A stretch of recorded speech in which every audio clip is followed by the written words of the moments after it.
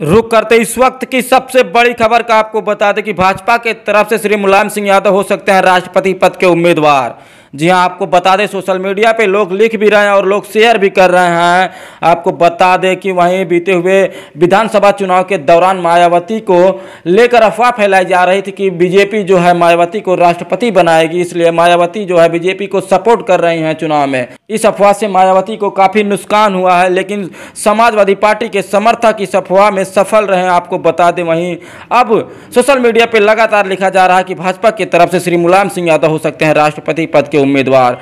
राष्ट्रपति पद को लेकर बहुजन समाज पार्टी और समाजवादी पार्टी में तकरार हो रही है, आपको बता दें, लगातार जो है, राष्ट्रपति पद को लेकर सपा और बसपा में तकरार चल रही, वहीं सपा और बसपा एक दूसरे पर तंज कस रही हैं। आपको बता दें, इस वक्त की सबसे बड़ी खबर जो चल रही है, राष्ट्रपति पद को लेकर चल रही है। अब सोशल मीडिया पे लिखा भी जा रहा है कि भाजपा के तरफ़ से श्री मुलायम सिंह यादव हो सकते हैं राष्ट्रपति पद के उम्मीदवार। यह बड़ी खबर निकल कर आ रही है सोशल मीडिया की तरफ़ से। आप अपनी कीमती प्रतिक्रिया कमेंट में ज़रूर दें।